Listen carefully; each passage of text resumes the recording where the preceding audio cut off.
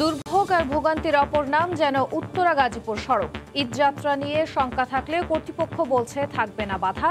BRT প্রকল্পের নিচের সড়ক হবে আগেই। মেট্রো রেলে উত্তরা থেকে মতিঝিল যেতে ভাড়া লাগতে পারে পঁচাত্তর টাকা। ডিসেম্বরে উদ্বোধনের তোড়জোড় প্রস্তুত Diabari station. The resolution for vote of no confidence against Mr. Imran Khan, the Prime Minister of Islamic Republic of Pakistan, has been passed. মধ্যরাতের রাজনীতির খেলায় বোল্ড আউট ইমরান খান পাকিস্তান পার্লামেন্টে অনাস্থা ভোটে হারালেন প্রধানমন্ত্রীর পদ প্রতিশোধ নেবে না নতুন সরকার মন্তব্য শাহবাজের সময় সংবাদের সঙ্গে আছি আমি খান তাজনিন হাসান বিআরটি প্রকল্পের কাজের জন্য গাজীপুর চৌরাস্তা ঈদ যাত্রায় কোনো বাধা হবে না বলে জানিয়েছে কর্তৃপক্ষ। ঈদের আগে গাজীপুর চৌরাস্তার নিচের অংশের সড়ক চলাচলের জন্য প্রস্তুত হয়ে যাবে। এছাড়া পুরো প্রকল্পের টঙ্গী থেকে কলেজ গেট পর্যন্ত তিন কিলোমিটার পথ বাদে আর কোথাও সড়কে প্রতিবন্ধকতা থাকবে না বলেও জানিয়েছে বিআরটি কর্তৃপক্ষ। রাশেদ লিমনের রিপোর্ট।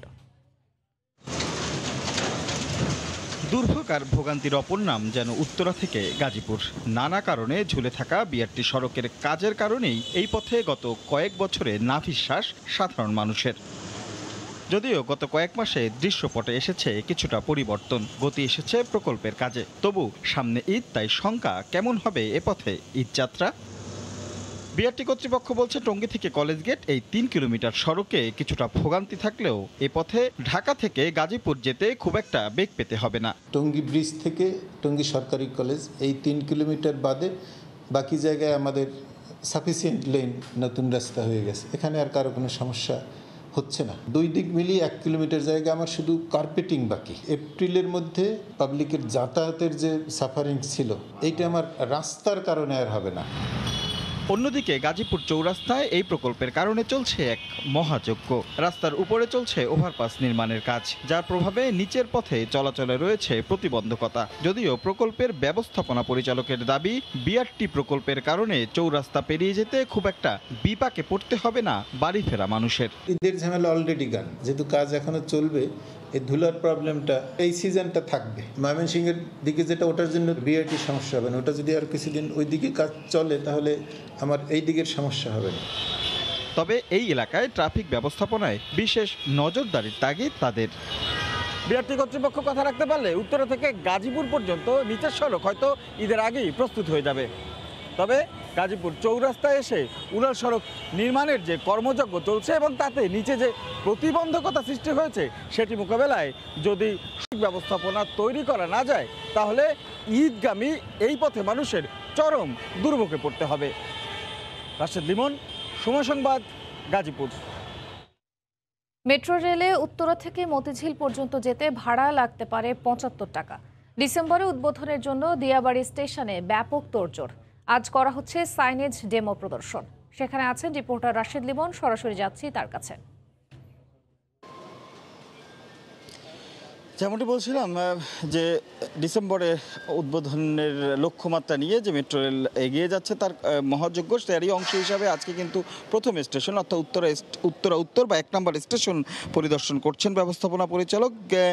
এর আগে আমরা দেখেছি প্ল্যাটফর্মে উঠে কীভাবে টিকিট গ্রহণ বা অন্যান্য প্রক্রিয়া সম্পন্ন করে এরপরেই কিন্তু আসলে যেমনটি বলছিলাম যে গত বুলেটিনে যে এরপরেই কিন্তু আসলে সিঁড়ি বা স্কেলেটার দিয়ে উপরে ওঠার পালা এবং উপরে এই যে আমরা যেমনটি দেখলাম স্কেলেটার থেকে স্কেলেটার থেকে উপরে উঠলেই তারপরে কিন্তু আসলে একদম মূল প্ল্যাটফর্ম এবং মূল প্ল্যাটফর্মেই কিন্তু আমরা এখানে দেখতে পাচ্ছি, এখানেও কিন্তু আসলে বেশ কিছু তথ্য দিয়ে যারা আসলে একদম ছবি দেখেই যেন মানুষ বুঝতে পারে নিজের অবস্থান কোথায় এবং নিজের যে গন্তব্য, সেই গন্তব্যের কি বিষয়গুলো আছে, কীভাবে যেতে হবে, কোনটার পর কোন স্টেশন সেগুলো যেন খুব সহজেই বুঝতে পারে।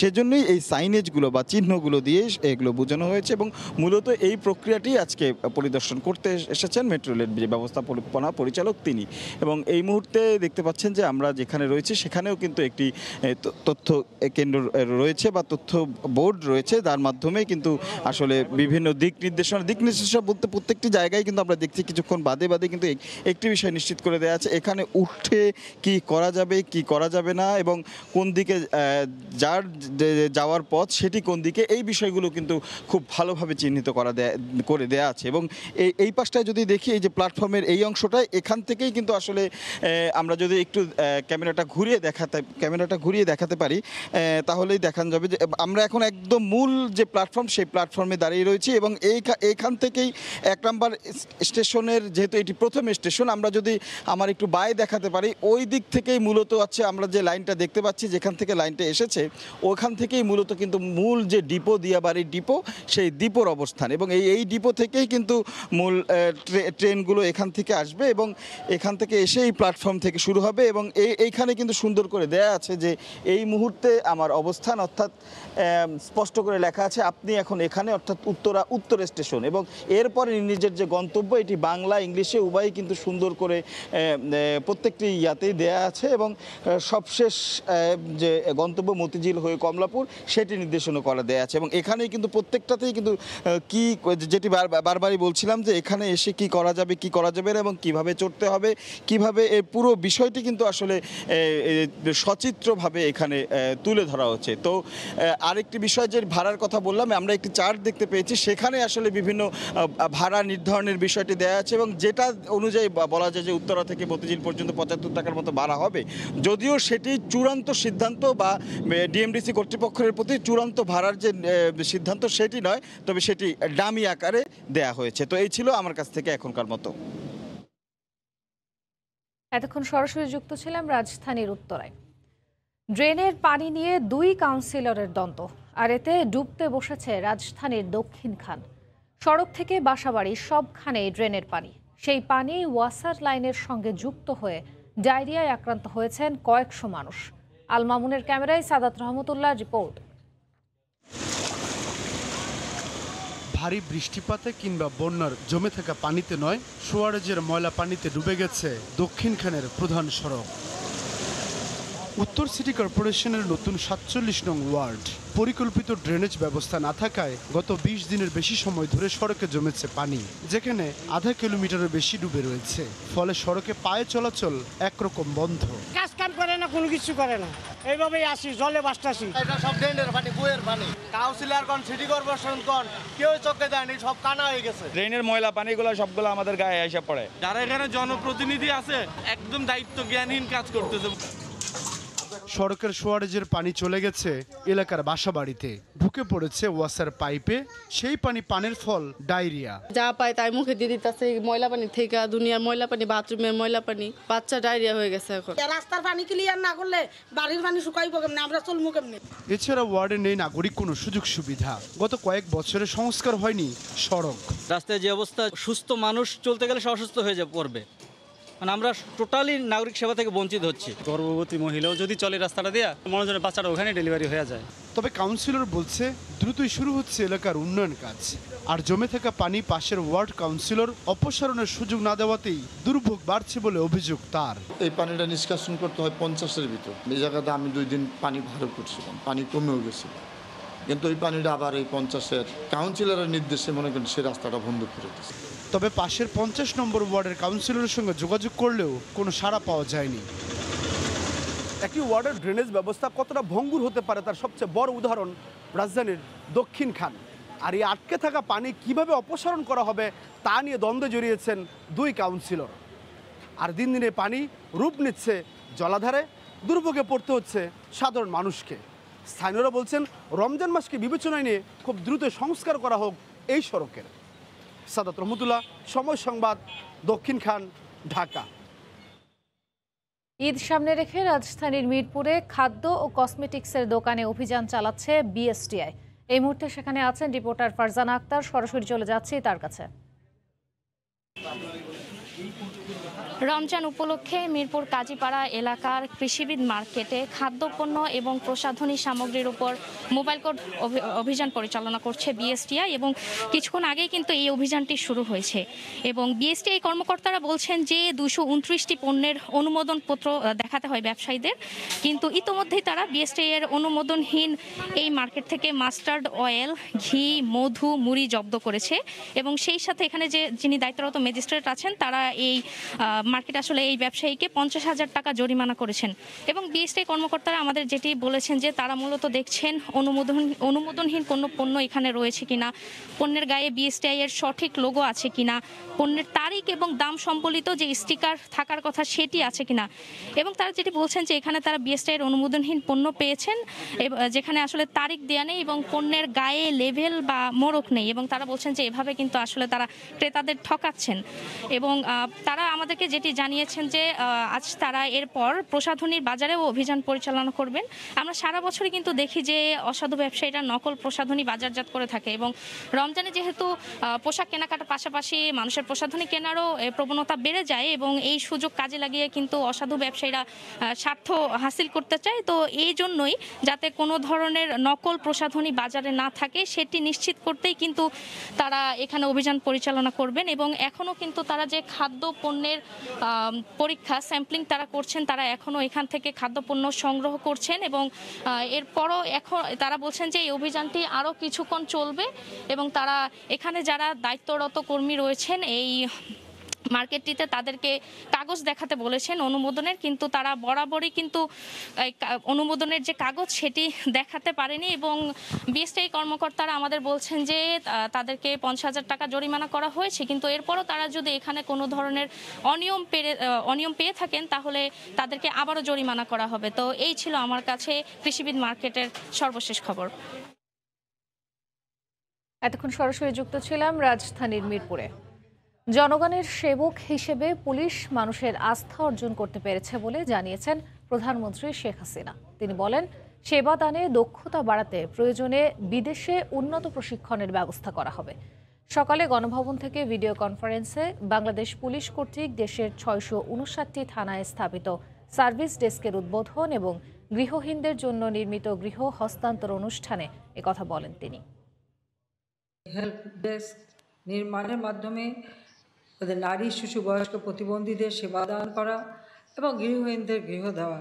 এটা জনগণের পুলিশেরই কাজ। কাজে আজকের পুলিশ জনগণের পুলিশ হিসেবেই আপনারা আজ মানুষের আস্থা, বিশ্বাস অর্জন করেছেন। জনগণের পাশে থাকবেন এবং জনগণের কল্যাণের কাজ করে যাবেন, সেটাই আমাদের লক্ষ্য।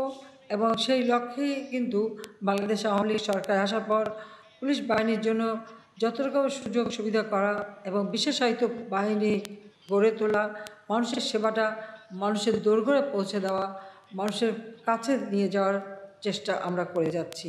কাজে সেইভাবে সততার সাথে আপনারা কাজ করে যাবেন। সময় সংবাদে আরও থাকছে। সুনামগঞ্জে নদীর পানি কমলেও ঝুঁকি মুক্ত হয়নি ফসল রক্ষা বাঁধ আবারও ভারী বর্ষণের পূর্বাভাসে জমির ধান নিয়ে শঙ্কায় কৃষক। মধ্যরাতের রাজনীতির খেলায় বোল্ড আউট হলেন ইমরান খান। দিনভর নাটকীয়তার পর পাকিস্তান পার্লামেন্টে অনাস্থা ভোটে হারালেন প্রধানমন্ত্রীর পদ। দেশটির ইতিহাসে তিনিই প্রথম প্রধানমন্ত্রী যিনি অনাস্থা ভোটে হেরে পদ হারালেন। ইমরান সরকারের বিপক্ষে ভোট দিয়েছেন একশো চুয়াত্তর এমপি। ফলাফলের পরপরই উচ্ছ্বাস প্রকাশ করেছেন বিরোধীরা। তবে নতুন সরকার প্রতিহিংসার রাজনীতি করবে না বলে জানিয়েছেন বিরোধী দলীয় নেতা শাহবাজ শরীফ। The resolution for vote of no confidence against Mr. Imran Khan, the Prime Minister of Islamic Republic of Pakistan, has been passed by a majority. দিনভর নানা নাটকীয়তা শেষে পাকিস্তান সময় মধ্যরাত বারোটা দুই মিনিটে শুরু হয় প্রধানমন্ত্রী ইমরান খানের বিরুদ্ধে আনা অনাস্থা প্রস্তাবের উপর ভোটাভুটি ইমরানের বিপক্ষে ভোট দেন একশো চুয়াত্তর এমপি এতেই সরাসরি বোল্ড আউট হলেন ইমরান ফলাফলের পরই পার্লামেন্টে বক্তব্য রাখেন বিরোধী নেতারা নতুন সরকার প্রতিশোধের রাজনীতি করবে না বলে জানান তারা তবে আইন তার নিজস্ব গতিতে চলবে বলে মন্তব্য করেন বিরোধীরা बदला नहीं लेंगे हम किसी के साथ नाइंसाफ़ी और ज़्यादती नहीं करेंगे हम बेजा लोगों को जेलों में नहीं भिजवाएंगे हम बेकसूर लोगों को जेलों में नहीं भिजवाएंगे लेकिन कानून अपना रास्ता लेगा हमने सिलेक्टेड करार दे दिया था और जो गैर जमहूरी अ, बोझ ये मुल्क तीन साल से उठा रहा था आज 10th April 2022 welcome back to पुराना पाकिस्तान সরকারের পতন হলেও আবারও পাকিস্তানের প্রধানমন্ত্রী হবেন ইমরান বলে পার্লামেন্টে হুঙ্কার দেন পিটিআই নেতা আলী মোহাম্মদ খান आपके दिल में तमन्ना थी कि इमरान खान साहब जो हैं उनकी हुकूमत खत्म हो इंशाल्लाह इस कुर्सी पे मेरा लीडर एक बार फिर आएगा इंशाल्लाह इस कुर्सी पे इमरान खान साहब फिर आएगा अवाम की ताकत से आएगा मेरे लीडर के पीछे भी करोड़ों लोग खड़े हैं और हम दुश्मन नहीं हैं हमने मिलकर पाकिस्तान को बनाना है लेकिन आपके तरीकेकार से हमें इतफाक नहीं এর আগে প্রধানমন্ত্রীকে উৎখাতে বিদেশিরা যে ষড়যন্ত্র করছে তার অংশ না হওয়ার দাবি করে অনাস্থা প্রস্তাব নিয়ে ভোটাভুটির আগে পদত্যাগ করেন স্পিকার আসাদ কায়সার ও ডেপুটি স্পিকার কাসেম সুরি তবে নাটকীয়তা শুরু হয় শনিবার সকাল থেকেই। পার্লামেন্টের সর্বোচ্চ আদালতের নির্দেশনা অনুযায়ী স্থানীয় সময় শনিবার সকাল ঠিক সাড়ে দশটায় পার্লামেন্টের অধিবেশন শুরু হয়। অধিবেশনে শুরু থেকেই অনাস্থা প্রস্তাবের উপর ভোটাভুটি শুরুর জন্য কোলাহল করে বিরোধী নেতারা। তবে তাদের দাবি কানে না নিয়ে দফায় দফায় অধিবেশন মুলতবি করেন স্পিকার। এদিকে ইমরানের হেরে যাওয়ার খবর প্রকাশের পরপরই রাস্তায় নেমে আসে বিরোধী সমর্থকরা। নেচে গিয়ে উদযাপন করেন তারা। এর আগে গত মাসে দেশের আর্থিক দুরবস্থা ও ভুল পররাষ্ট্রনীতির অভিযোগে ইমরানের বিরুদ্ধে অনাস্থা প্রস্তাব আনে বিরোধীরা। তবে তিন এপ্রিল প্রধানমন্ত্রীর বিরুদ্ধে এই প্রস্তাবকে অসাংবিধানিক আখ্যা দিয়ে খারিজ করে দেন ডেপুটি স্পিকার। পরে আদালত পুনরায় অনাস্থা প্রস্তাবের পক্ষে রায় দেন। পাকিস্তানের রাজনৈতিক ইতিহাসে এর আগে দুবার প্রধানমন্ত্রীর বিরুদ্ধে অনাস্থার প্রস্তাব আনা হয়েছিল। তবে দুবারই তৎকালীন প্রধানমন্ত্রীরা দায়িত্ব থেকে যেতে সক্ষম হন। রাহানুল রানা, সময় সংবাদ। রমজানে বাজার স্বাভাবিক রাখতে রাজধানীর পুরান ঢাকার মৌলভী বাজারে অভিযান পরিচালনা করছে ভোক্তা অধিকার সংরক্ষণ অধিদপ্তর। এই মুহূর্তে সেখানে আছেন রিপোর্টার জুবাইর ফয়সাল, সরাসরি যাচ্ছি তার কাছে।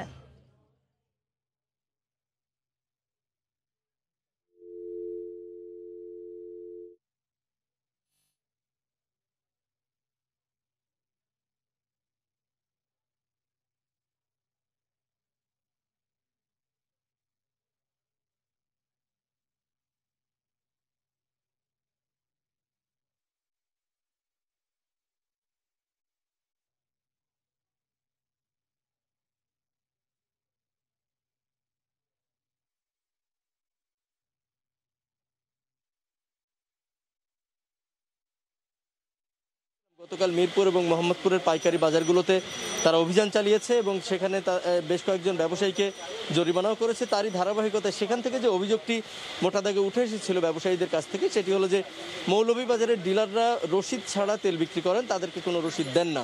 সেক্ষেত্রে প্রকৃত দাম বলা কিংবা কোন দোকান থেকে কিনেছেন সেই সম্পর্কে কোনো তথ্য ভোক্তা অধিকার সংরক্ষণের কাছে দিতে পারেননি তারা।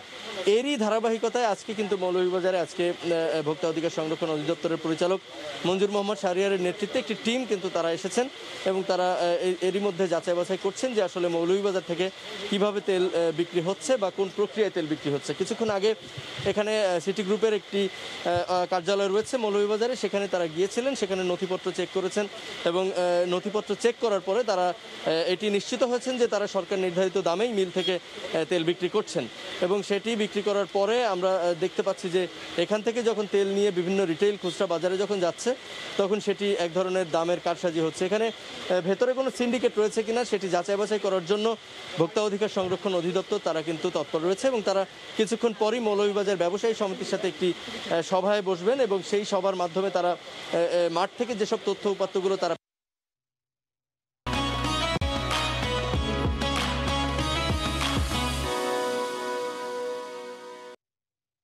সিলেট নগরীর বুটিক হাউস ও মেগা শপগুলোতে জমে উঠতে শুরু করেছে ঈদ ও বৈশাখী কেনাকাটা। দুই বছর পর কর্মব্যস্ত সময় পার করছেন কারিগররা। বাহারি কারুকাজ করা ব্লকে নানা রঙের কাপড়ে রঙের ছাপ দিতে ব্যস্ত সিলেটের বুটিক কারখানাগুলো। দু বছর পর কর্মব্যস্ত সময় পার করছেন বাটিক ও বুটিক কারখানার কারিগররা। একের পর এক অর্ডার আসছে বিক্রি হচ্ছে নিমিষেই। তেরো চোদ্দোটা জামা আমি কাপড় কিনে নিয়ে এসে করাচ্ছি। বাটিকের মধ্যে কাজ করে সেখানে মানে রঙের কাজ রঙের বাহার এগুলো কিন্তু করে নিচ্ছে। এই বছর মোটামুটি সামনে ঈদ এবং পয়লা বৈশাখ উপলক্ষে আমাদের বেশ সাড়া পাচ্ছি।